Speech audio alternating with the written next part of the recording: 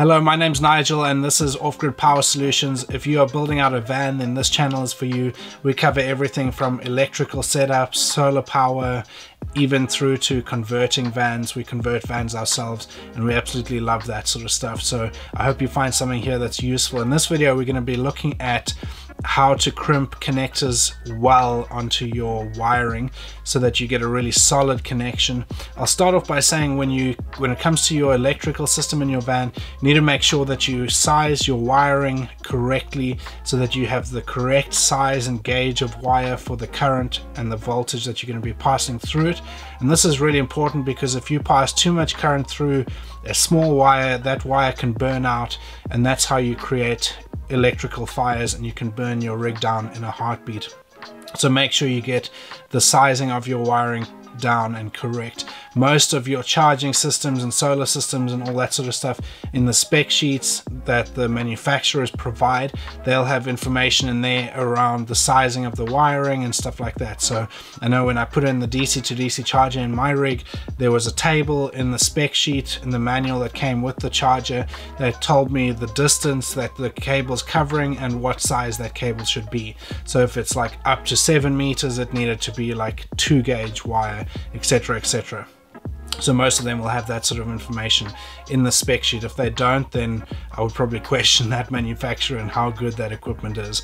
But yeah, we're going to be looking at a bunch of stuff here. going to start off by looking at this. So you probably have one of these in your toolbox or lying around your house. Most people will. This is your stock standard electrical tool. It's a wire cutter, um, crimping tool, wire stripper, kind of all in one thing. and if I was to start using this now, I would get a lot of flack in the comments because the pros hate this guy. Uh, I've used one of these extensively over the years, even as a teenager building out rigs and stuff with my dad.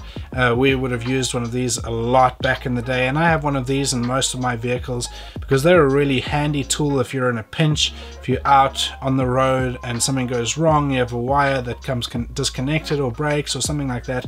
Uh, if you're in a pinch, this is a really solid tool. I probably wouldn't recommend this to a beginner just because it's kind of uh, needs a little bit of intuition and know-how as to what to do with it and how to actually use it.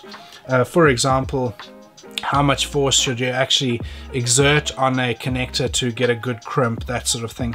A lot of that sort of stuff will only come with knowledge and experience and really knowing the feel of the connectors and stuff like that. So if you have one of these and you don't know what you're doing, then I would probably recommend shelve it and get a couple of tools that I'll talk through here that will give you a better idea and kind of has, has a bit of a safety net built into it so that you know that you're getting a good connection on your crimp. So I'm going to run through a couple of things here. You'll probably have seen one of these around. This is just a heavy duty hand crimping tool and this just works on leverage and the mechanics that um, in terms of you actually closing it to get your crimp right. Uh, you kind of get your whether you have a good crimp or not you know that by whether the teeth and the dies have closed and so the manufacturer of this is kind of assuming that once you close this to that point if your connector is good and you've got the right size wire on that connector then that should be a solid crimp. I've used one of these quite a lot uh, and yeah I quite like them. It's quite versatile because you can change the the dies on the fly so if you're working with different size cabling and things like that, then you can change that pretty easily. It's quite versatile from that point of view. The next option is one of these hand hydraulic crimping tools. So this, in my opinion, gets a slightly better uh, crimp than that other one than the first one uh, because you, you are able to put more force on it. Again, it works on the basis that once the dies close, they're assuming that that's a solid crimp. So provided you've sized your cabling and your terminal correctly, uh, that is a really solid choice. And uh, again, these all of this stuff, none of it is super expensive either. So this guy here, you're talking about $35, about 28 pounds or thereabouts. This guy here is slightly more, about $60 or 50 pounds. Uh, the next one that we have here is a ratchet crimping tool. So this is designed for insulated, well, the good thing about this is that you can change the dies. So you can see these two bolts here. This allows you to remove the dies and change them out depending on what you're using because the way that these dies are designed is that they're designed for different type of crimping connectors. So this one here, you can see there's no actual teeth in the in the gaps for the dies. And the reason for that is so that you would use it on these sort of uh, insulated connectors where you don't want to be piercing the, the insulation. Uh, here's another example of a ratchet uh, crimping tool where it has a teeth that goes right down in the middle of that gap as you can see there and that's designed for your non-insulated crimping connectors uh, because it doesn't matter if you push it, uh, one of the teeth right in the middle of the uh, crimping connector because there's no insulation on it. Uh, this here is a wire stripping tool.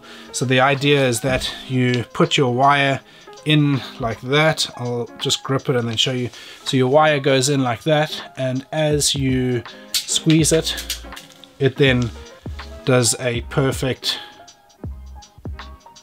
cut and removes the insulation off the wire like that. Um, and it's a really solid tool. It saves you having to use a Swiss Army knife or a Stanley knife or something like that to bare your wires. And for thinner wires, it's good because a lot of these thinner wires, the actual copper inside the wire will be quite small. It's easy to cut even just with a knife. Uh, so that's a really solid tool. and then lastly is this guy here. It looks a bit medieval. It's quite a strange looking thing. But this is just a big wire cutter for large gauge wire. Like this is uh, 1 over 0 or 50 millimeters squared. And uh, this is what I would use to cut this wire uh, just because it's quite a pain when I was a teenager working with this sort of wire. I used to cut it with stuff like a hacksaw and things like that, which is very messy and just not ideal. So you can get tools like this. I think this was like $30 or 25 pounds, something like that. I'll link all of these tools down in the description below if you're interested in looking for tools for your setup. Uh, but yeah, I mean, if I was building out a van, I would definitely, I mean, these are kind of your bare minimum, these tools here. So a ratchet crimper, a wire stripper, and then a, a hydraulic crimper for your bigger cables. And so these all in is like a hundred bucks or not even. 80 pounds thereabouts and that'll get you really solid connections on your crimps. So let's jump in here. I'm going to be using a swiss army knife to bare the insulation on this uh, because i can't find my proper um, wire stripper. So uh, don't come at me in the comments please. But what i would tend to do is i put my thumb on the cable like that. I then measure how much I need to remove of the insulation, so thereabouts. Um, some people like to mark it, but I just do it this way just because it's more efficient. And then I then put my blade or my wire stripper about where my thumb is, and I just turn that very carefully. Now you don't need to put a load of force because you don't need to, you don't want to be cutting the actual copper, but you just want to be getting through the insulation to where the copper starts. And again, being careful not to actually cut your finger. So we are nearly there.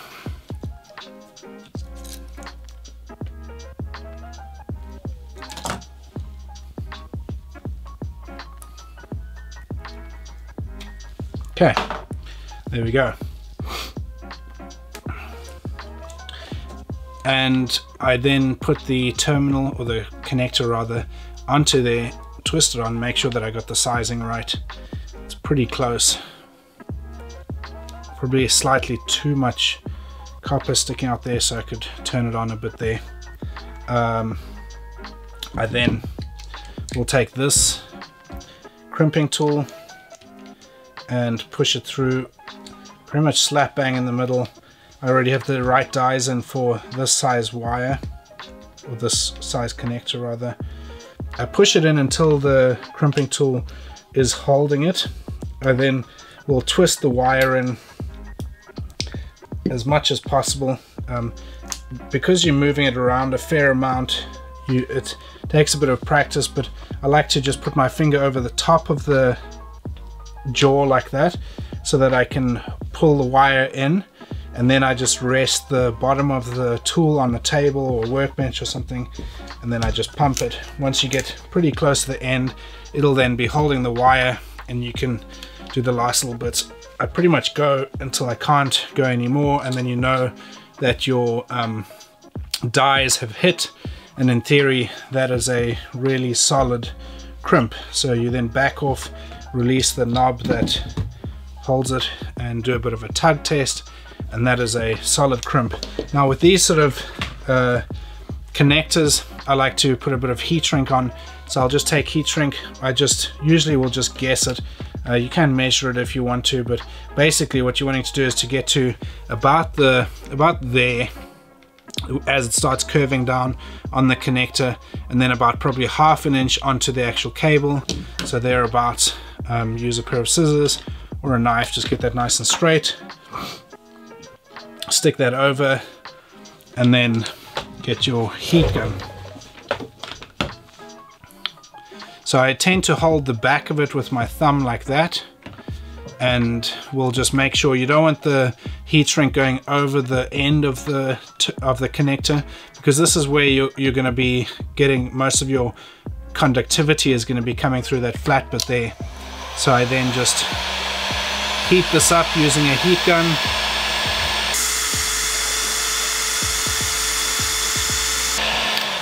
basically as, as soon as you start I like this heat shrink because it uh, has adhesive in it, so it glues and sets really nice and hard and solid.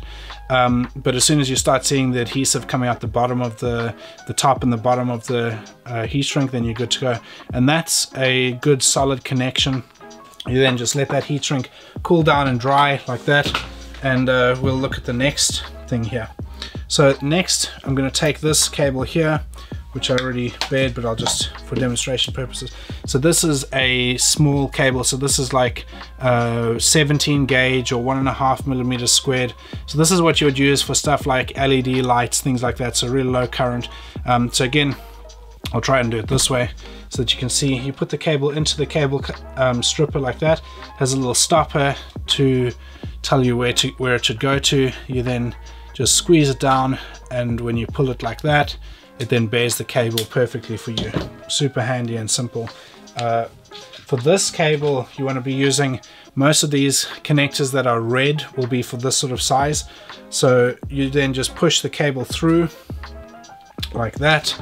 I like to then just hold it into my crimping tool in the right uh, die like that. And then I always just push it so that I can just see the cable the copper sticking out the top of the insulation over there as you can see.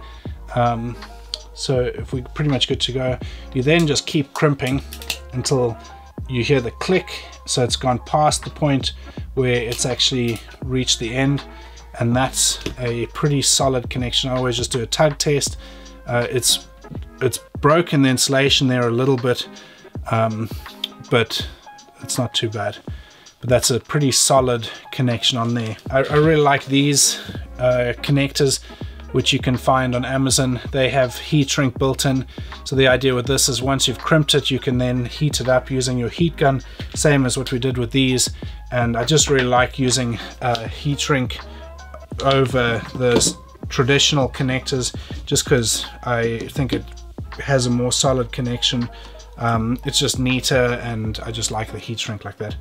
So this is 10 millimeters squared and I'm gonna put a non-insulated connector onto here to demonstrate that but it's essentially the same sort of process. So I would put the connector onto the cable to measure how much insulation I need to remove. And again I'm using the old uh, Heath Robinson Swiss Army knife method. Um, don't try that unless you are comfortable with using knives. Uh, I would definitely recommend a proper wire stripper and I'll link one down below. But yeah remove the insulation. You then put your connector on. I like to twist it down Sometimes the wires go out of the connector, so just take it off, put it back on. You can see there the wires gone all the way to the top, that gap. You want to see them just pushing up against there nicely. And then I'm going to use this connector. So this is another ratchet connector. So I'm going to push the connect, uh, sorry, ratchet uh, crimper. I'm going to push the connector in probably pretty much in the middle of the die of the jaws there. I'm then to with uh, this my left hand I'm pushing the cable into the connector and then I just start crimping it and I keep going all the way until I hit the bottom of the connector and it releases and then at that point I know that's a really solid connection there. You can see what I meant earlier where it just pushes the tooth right into the middle of that connector there and it's a really solid connection. That's not going anywhere. Uh, I would then put a bit of insulation uh, over the top of that. So either insulation tape or my preference is always heat shrink. Uh, so I have tons of heat shrink in my workshop that I use for this sort of stuff. And there we go. So I hope this video has been helpful. If you're building out a van or anything like that, then I would highly recommend join our email list. I'll link it down below at the top of the description. We send out a weekly email with tips and tricks and advice and all sorts of things. It's uh, really valuable information that we put out there every week into your inbox. So if you want in on that, then jump onto that list down below. Otherwise, if you have any questions for us or topics you want us to cover in future videos, then drop a comment down below. We'd love to hear from you. Thank you.